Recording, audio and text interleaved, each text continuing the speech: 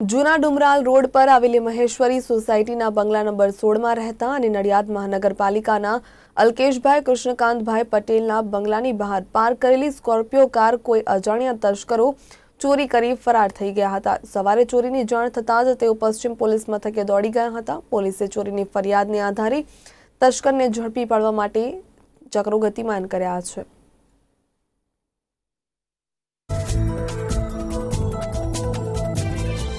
કાલે રાત્રે હું નવ સાડા નવે ઘરે આવ્યો ને ત્યાર પછી સવારે હું ઓફિસે જવા ગાડીની ચાવી લઈને ઘરમાંથી નીકળ્યો ત્યાર મને ખબર પડી કે મારી ચા- ગાડી ચોરાઈ ગઈ છે. સ્કોર્પિયો ગાડી હતી મારી એમાં જી જે સેવન ડી બી છ હજાર છ નંબર હતો.